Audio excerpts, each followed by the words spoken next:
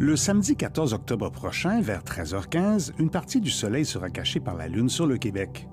Pour certaines régions de l'Amérique du Nord, cette éclipse solaire sera annulaire. Le Soleil ne sera donc pas entièrement caché. On pourra voir un anneau de lumière autour de la Lune. La bande d'éclipse annulaire s'étendra du nord de l'Oregon au sud du Texas sur une largeur de 200 km. Le Témiscamingue sera le secteur le plus gâté, alors que plus de 22% du Soleil sera couvert par la Lune à 14h18. Pour les gens de l'Est de la province, patientez. Une très rare éclipse solaire totale sera visible au Québec le 8 avril 2024.